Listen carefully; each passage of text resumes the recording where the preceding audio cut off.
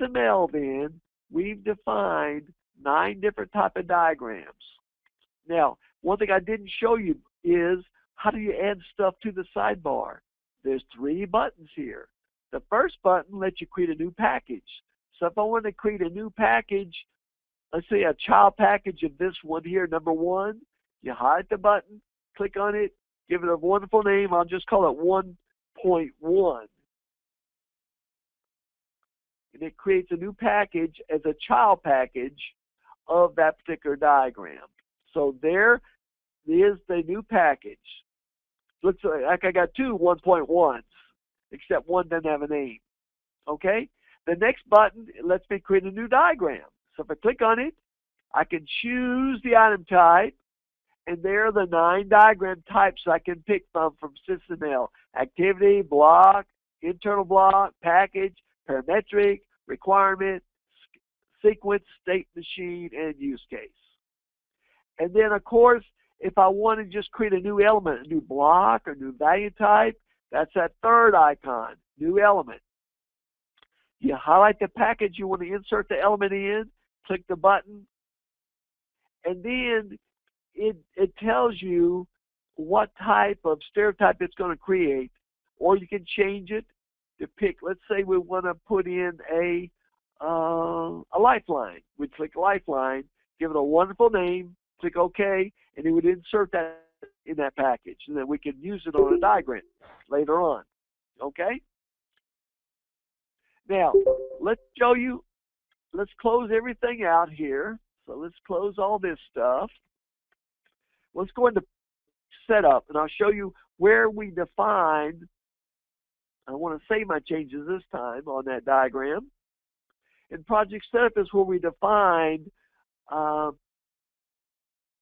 the stereotypes and then uh, new modeling domains. Now, if I do say choose model, you'll see I've got one called SysML Automobile, SysML Play 1, that's just a play data model I can use, SysML Play 2, and then the default SysML. So let's just go into project setup. I go into project, project setup, it down. Okay, so in the project setup, if you go to options and you go to modeling, so stereotypes, there's where we define the stereotypes. And what we did was we picked the stereotypes out of the specification, and then we made a few assumptions, simplification assumptions, but these are all defined in the spec, in the in the standard. Okay? Now, for example, we got something over here, block. You notice how it's got underneath it actor. That's like a sub stereotype. Actor is a sub stereotype of block. What if I wanted to use in my model something called hardware or software or engineering? I could just highlight the the element, the stereotype I want to make a new subtype. Hit new, Let's make it hardware.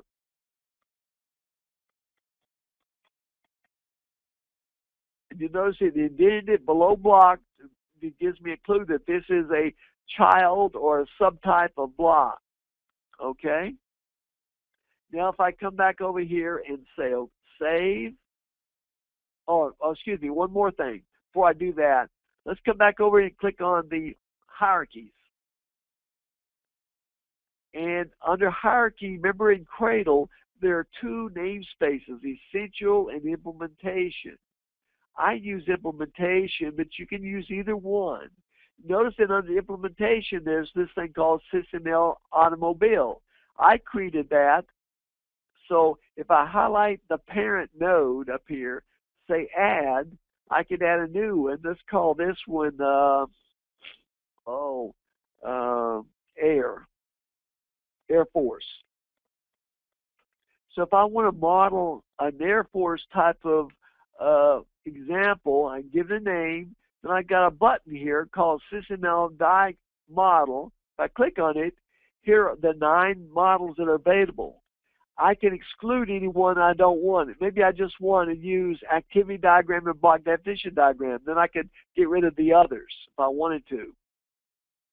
Now if I say save and OK, now let's come back over here to the sidebar. Click on the icon. Oop, click on the icon. Remember, if you say choose model, we can switch to a different model. Hopefully, the one I just created called Air Force is in there. Air Force. There it is.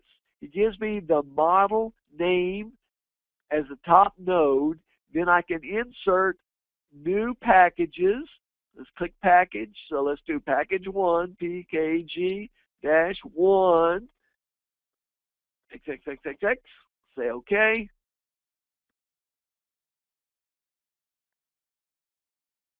Now, inside model, I've got a package. I can insert an element. Let's put in a block, a block. Let's call this boat, no, plane, P-L-A-N-E.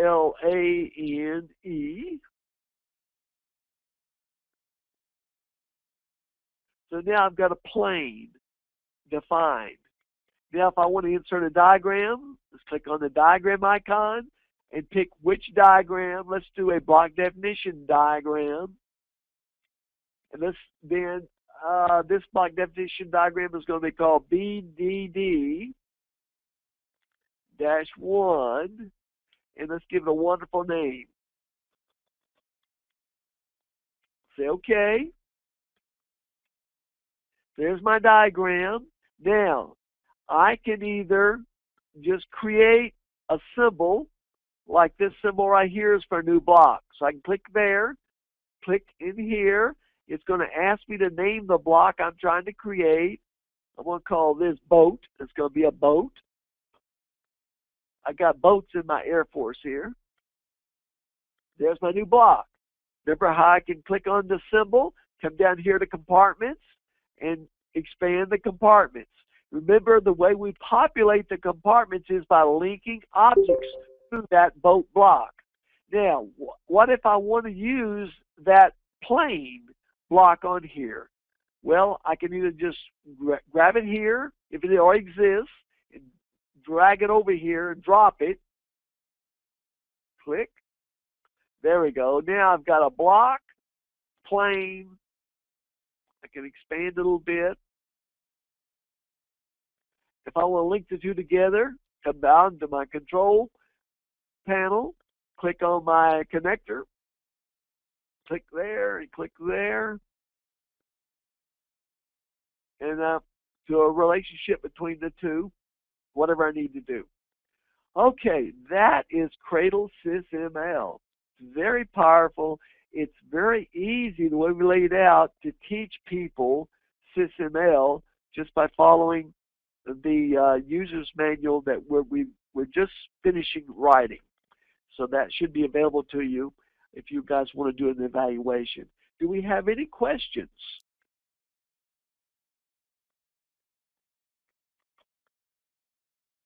This demo database. So if I go into the, the project sidebar here, go into source documents, go into requirements, here's a requirements document that someone has captured and here are the items they captured out of that source document and brought into Cradle. There we go, source statements. If I click on that, okay, so now if I double, let's try this. If I double click it, open this one to see what happens.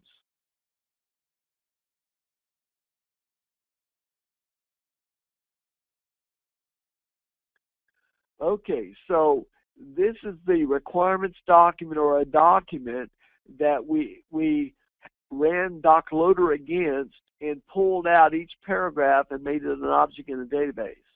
So this one here, 1.2 operating features.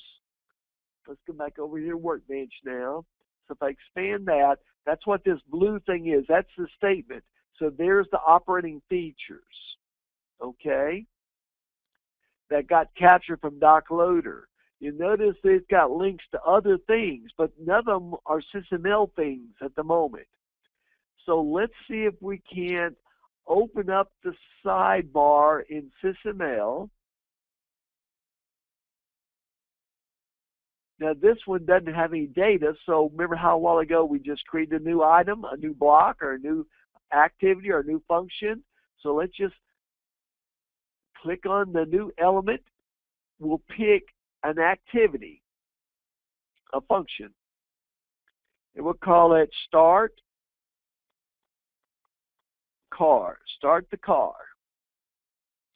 That's a function we want to perform.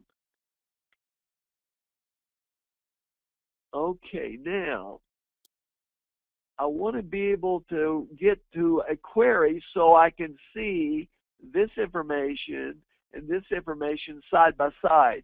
So if I run a query, just like a normal query in, in Workbench, going to come up here and click on the query, we'll tell it to look at cis, uh, stereotypes. I've only got one in this database, so it's going to be real simple. So if I come up here and say choose item type, and then way down at the bottom, under implementation domain, that's where I put under system SysML default, and we want to query either on all stereotypes or just activities. Let's do all stereotypes. There's only one. There's only an activity. So we say OK, there's the one stereo. Well, we got two stereotypes. I'm sorry, I lied to you. There's the model. That's also a stereotype. And then there's that activity I just created. Now, if I come back over here to my normal project sidebar, and this is stuff that I brought in from a document, remember that is in that document. Let's go to one more. Let's try this one right here. Let's see what that one's linked to.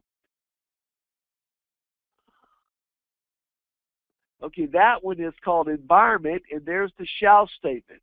So let's, that's what I want to do. So, see if we can link that. So if I expand this, there's that environment. If I click on it just to double check, there's the requirement statement. So there's a, a, um, a requirement. And here is the SysML activity. So if I want to associate this activity with that environment, I just do, now I probably don't have a link rule defined to allow me to link these two together. We'll, we'll see. It'll tell me right now if I don't. See the red X? No link rule. So let me fix that real quick and we're almost done. So I'll go to project, project setup. We'll go to cross-reference parameters. We will either define a link rule or turn off. We'll define a link rule real quick and then that should demonstrate what you've asked for, I hope. Okay, there we go.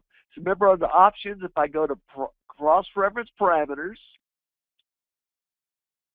if I go to link rules, I got a whole bunch of link rules. Let me just add a new one. So I want to be able to link a requirement to so uh, to a SysML model. So requirement, let's come over here to the type, and I'll change that to be specification of type implementation because that's where my I put my SysML elements. Whose model matches all models? The SysML model. Now see, here's where I tell it which stereotype, and then I could have this match. So the stereotype is going to be an activity. But there it is. And I want to match if, if, if it says is equal to, that means it's just going to look at activities. If there's any child stereotypes below activity, I can match those by doing this one right here. Is it equal to or a descendant of? So like action is a child of activity, so it'll match either one. So it's going to look for allow me to link a requirement to an activity or a child of activity. So let's we build our rule, we saved it, we okayed it.